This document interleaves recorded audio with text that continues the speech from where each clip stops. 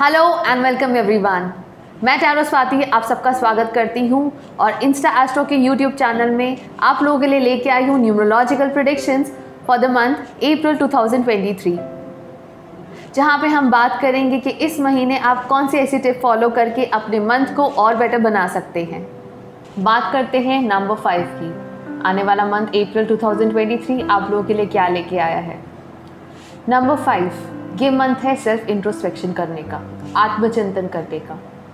ये महीना आपको कुछ ऐसी सिचुएशंस में लेके आएगा जहाँ पे आप कोई ऐसे हालात में होंगे, जहाँ पे आप किसी भी चीज़ के अंदर अपना राय देने से पहले आपको सोचना पड़ेगा कि आप क्या कर रहे हैं। सेल्फ इंट्रोस्पेक्ट खाली यही नहीं है कि आप अपने डिसीजंस को देखें, लेकिन हाँ अपने ये रिलीजियस अपने स्पिरिचुअल पाथ को भी ध्यान में रखें। स्टूडेंट्स आप लोग भेड़ चाल की जैसे ना चले, बल्कि अपनी इंडिविजुअलिटी पे काम करें। अगर कोई ऐसा डायरेक्शन जहाँ पे सब जा रहे हैं, लेकिन आप अपनी एक परे सोच रखें। अपनी इंडिविजुअलिटी को सबसे ऊपर रखें। रिलेशनशिप के अंदर आपको यही हिदायत दूँगी कि आप कोई भी ऐसा एक्शन कोई भी ऐसा जेस्चर अपने पार्टनर के साथ ना करें, जिससे आपकी बात खराब हो। रिलेशनशिप्स के अंदर थोड़ा सा आपको केयरफुल रहना पड़ेगा। अगर आप सामने वाले से कोई उम्मीद रखते हैं, कोई अपेक्षाएँ रखते हैं तो आप उन अपेक्षाओं को पूरा करने के भी काबिल होने चाहिए। अपनी एक्सपेक्टेशंस को थोड़ा सा लोअर डाउन करें और इस मंथ एक्सप्लोर करें न्यू अपॉर्चुनिटीज़ को।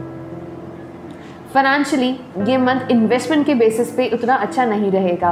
मोर ओवर अपनी रिसर्च करें इन्वेस्ट को इन्वेस्टमेंट को प्लान करने से पहले कोई ऐसी स्ट्रैटेजीज़ को फॉलो करें या फिर किसी बड़े की मदद लें। इस मंथ को और अच्छा बनाने के लिए एक छोटी सी टिप ज़रूर फॉलो करें। नंबर फाइव अगर आपको कोई ऐसा पर्सन दिखता है जो हैंडीकैप्ड है या फिर किसी भी इशू की वजह से वो फिज़िकली थोड़ी सी प्रॉब्लम में है तो अगर आप किसी को भी हेल्प करते हैं, उसके फिज़िकली हेल्प करने के लाइक अगर कोई व्हील चेयर किसी को डोनेट कर सके या अपनी क्षमता अनुसार मेडिकेशंस प्रोवाइड कर सके तो इसको ज़रूर करिएगा। Thank you